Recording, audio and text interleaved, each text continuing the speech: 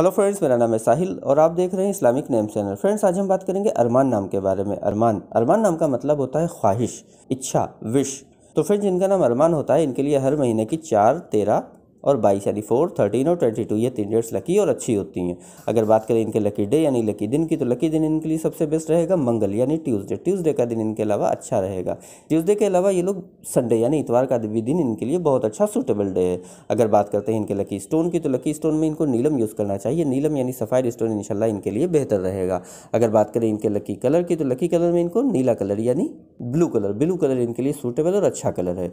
अगर बात करते हैं इनके लकी नंबर की तो लकी नंबर है इनका चार। यानी फोर फोर नंबर इनका लकी नंबर है।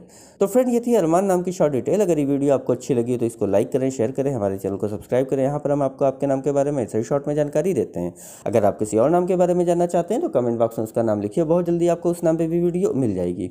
इसके अलावा फ्रेंड्स अगर आप अपने नाम के बारे में और डिटेल के साथ जानकारी लेना चाहते हैं तो इसके लिए इस वीडियो के डिस्क्रिप्शन में आपको एक लिंक मिलेगा, उस वीडियो को देखिए।